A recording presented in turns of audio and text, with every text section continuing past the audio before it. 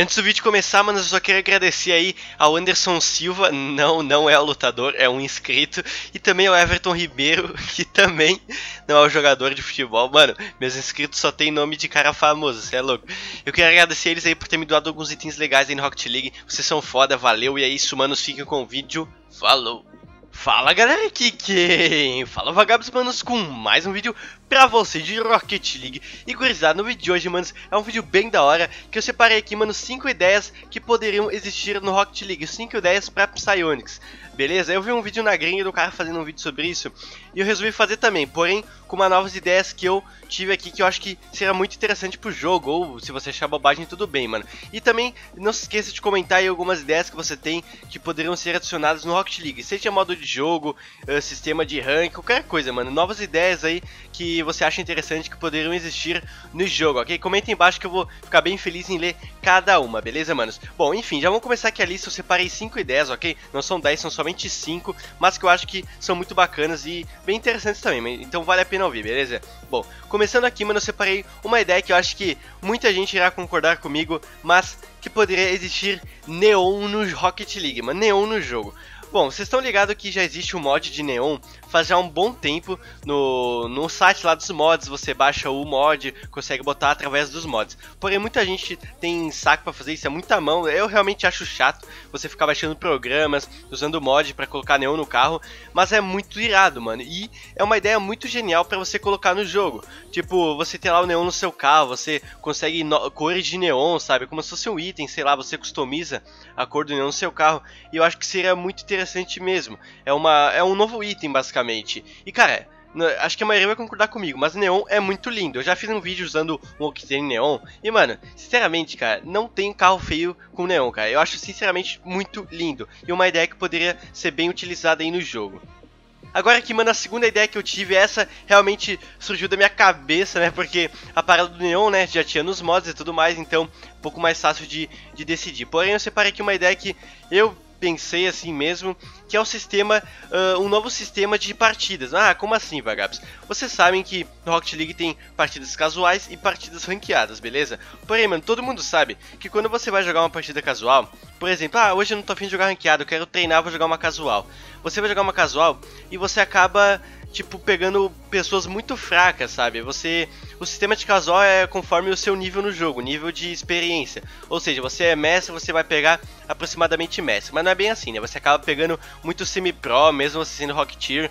Então acaba ficando meio chato as partidas casuais. Ou seja, você vai jogar para treinar, você acaba pegando um cara muito fraco, ou você acaba pegando um cara muito forte e não tem pessoas do seu nível. Eu acho que seria interessante se adicionar no Rocket League um sistema de casual ranqueado. Ah, como assim, mano? Uh, seria mais ou menos assim. Você tem lá uma listinha, você procura, ah, eu quero jogar 2v2 desse tipo de partida. Você procura lá, vai achar uma partida casual, mano, que não conta rank. Porém, vai achar players que tem o mesmo rank que você. Ou seja, ah, no 2v2 eu sou diamante 1. Você procura nessa partida e você vai achar uh, pessoas com o mesmo rank que você. Ou seja, pessoas que têm o um rank diamante 1 ou próximo, ok? É como se fosse um treinamento aí para ranqueadas de verdade, mas sem contar rank. É tipo uma casual, só que com pessoas que são do seu nível e que não conta rank, me entenderam? Muitas pessoas fazem isso, porém em partida privada, porque, como eu falei, em casual, você procura lá, você acha pessoas muito fracas ou muito fortes. Então eles reúnem certos amigos com o mesmo tipo de rank e vão jogar privadas. Mas eu acho que seria interessante no Rocket League ter esse sistema aí de você procurar partidas casuais pelo rank, não pelo nível, né? Porque tem muitas pessoas que são expert, que são muito melhores que outros expert, ou é isso aí, né, mano? Eu acho que seria bem legal essa ideia e iria ajudar muita gente. Porque eu, por exemplo, não é todo dia que eu tô afim de jogar ranqueado, eu quero jogar para treinar, aí eu vou procurar uma casual, aí eu pego pessoas muito fracas, às vezes pego uns caras muito bons, sabe? Então não faz muito sentido. Eu acho que seria legal essa ideia no jogo. A terceira ideia que eu botei nessa listinha, manos, é um vídeo recente que eu fiz aí no canal, que é dos pneus pintados. Todo mundo sabe que tem muitas rodas pintadas aí no jogo, né, que é talvez os itens mais cobiçados aí da gurizada, que seriam as rodas. Porém, mano, eu fiz um vídeo recente, terça-feira, na verdade, falando sobre os pneus pintados, que dá pra você colocar usando mods, né? Os mods são as coisas mais da hora que tem no jogo, porque você consegue... O, os, mods, os mods são tipo criatividade, sabe? Os usuários vão lá e criam mods mods e tudo mais, e eu acho isso muito interessante. E pneu pintado foi uma coisa que eu gostei bastante, e como não, mano, eu acho que será um item muito bacana para ser adicionado no jogo. As rodas já estão muito saturadas, claro que uh, eu amo roda, todo mundo ama roda no jogo, mas tipo, dá pra ver que tá faltando um pouco de ideia para desenvolver as rodas. Então por que não fazer pneus pintados? Sabe, cores de pneus. Seriam novos itens também que serão interessantes para ser adicionados no jogo. E a Psyonix, né, com toda a sua, uh, digamos que seu pessoal lá que desenvolve tem uma estrutura muito muito boa, né? Poderão desenvolver claramente novos estilos de cores de pneus e poderiam ser muito interessantes e muito legais também, mano. A quarta ideia que eu separei aqui na listinha, mas também é uma ideia que surgiu da minha cabeça, que eu pensei mesmo. Uh, na verdade não é nada assim extravagante, assim, muito fora da caixa, né, digamos assim, que seria recompensas diárias, missões, missões, missões diárias. Muitos jogos aí, talvez a maioria dos jogos, possuem esse tipo de missão diária, que seria mais ou menos o que? Ah, você faz isso isso durante o jogo, em um dia você ganha uma recompensa. E eu acho que seria muito legal fazer isso no Rocket League. Por exemplo, você entra no jogo e um dia você tem que, ah, uh, faça 5 partidas ranqueadas, complete 5 uh, partidas no drop shot, sabe?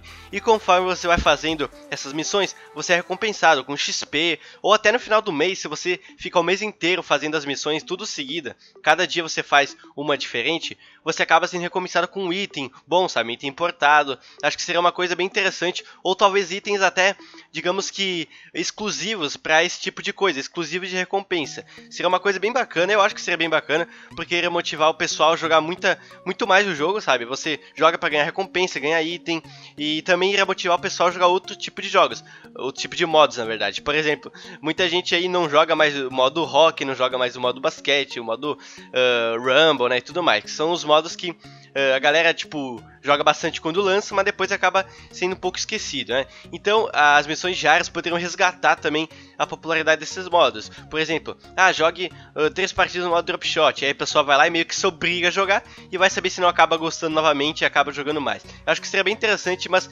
não por isso, acho que seria mais interessante ainda pelo modo de recompensar a galera e motivar os players a estar jogando cada vez mais o Rocket League, né, manos?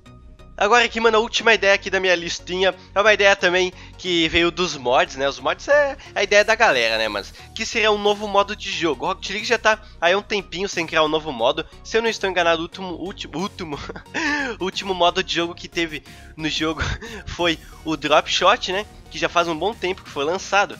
E tem esse modo aqui, mano, que a galera estourou assim no YouTube faz um tempo que veio nos mods, que seria o modo vôlei tem um mapa de vôlei que uh, tem nos mods né, e tudo mais, mas o modo vôlei, mano, seria muito da hora no jogo. Tem o basquete, tem o hockey, tem o rumble, tem o drop shot e o... Por que não tem o vôlei, sabe? Lançaram nos mods o modo vôlei, a galera gostou muito desse modo, também com o modo half pipe, mas acho que o modo vôlei se encaixaria mais ainda com o estilo de jogo que é o Rocket League, sabe?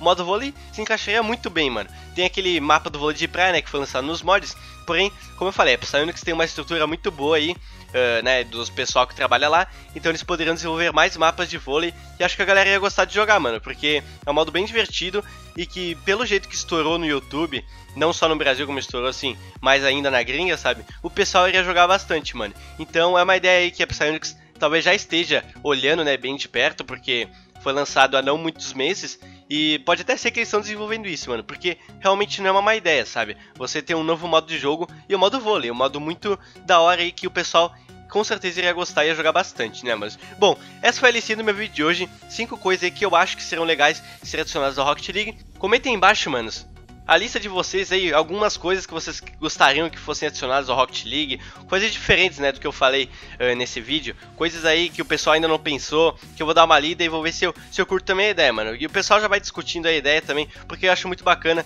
esse entrosamento da comunidade. Por exemplo, como eu falei, os mods são os players, os usuários, né, que criam os mods. E, e, eles acabam ficando muito famosos, mano. O modo vôlei ficou muito famoso, o Neon nos carros ficou muito famoso, e fora também o Rocket Launcher, né? Que é aquele modo todo louco que dá pra você modificar tudo e tudo mais, que também fica muito famoso. Então, essa interação da comunidade eu acho muito importante e com certeza a pessoa que está de olho nisso. E, cara, tomara que eles levem em consideração aí algumas coisas que o pessoal que criou os mods fazem, sabe? Como, por exemplo, eu fiz um vídeo falando sobre um cara que criou bushes, black markets, sabe? Novos decalques black markets também, que eu achei muito insano, mano. Tomara que a Psyonix leve em consideração a ideia da galera e a opinião também da comunidade, beleza? Então é isso, mano. Espero que vocês tenham gostado do vídeo. Se gostou, não esqueça de deixar aquele like, como eu falei, mano. Comente aí embaixo também algumas coisas que vocês gostariam que fossem adicionadas ao joguinho, nosso querido joguinho, né, Rocket League, mano. Então é isso, manos. Se vemos no próximo vídeo. Aquele abraço, valeu e eu fui. É nóis.